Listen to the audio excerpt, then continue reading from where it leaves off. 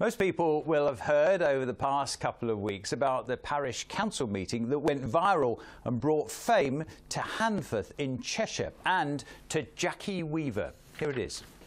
you disrupt this meeting, I will have to remove you from it. You can't. You have no authority here, Jackie Weaver. No authority at all. No, she's kicked him out. Don't, don't. She's kicked him out. And now some people say it's happening here. Have a look at an East Riding Council meeting yesterday. This is local democracy in action.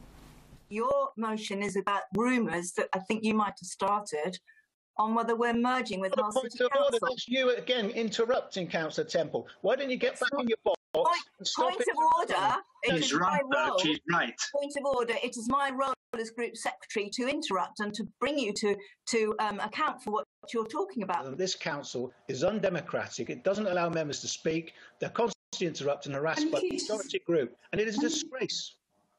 It is a disgrace. This is making us look like Handforth Council, is this, quite frankly? Well, if people act like Handforth Parish Council, that's what you end up with.